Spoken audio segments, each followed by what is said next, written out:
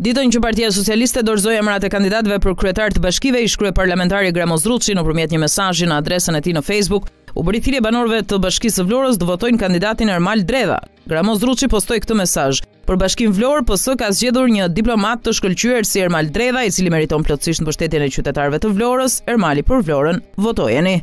Më troç Gramozi po bën thirrje që vlonjatët të votojnë për Ermal Dredhën, vëllain e dhëndrit të tij Erion Dredha, duke e servirur si diplomat të shkëlqyer dhe zgjedhje të përkryer nga PS. Pas thirrjes së Gramoz Ruçit në Facebook, një komentues vlonjat me emër real Edison Kosumi ka shkruar me ironi.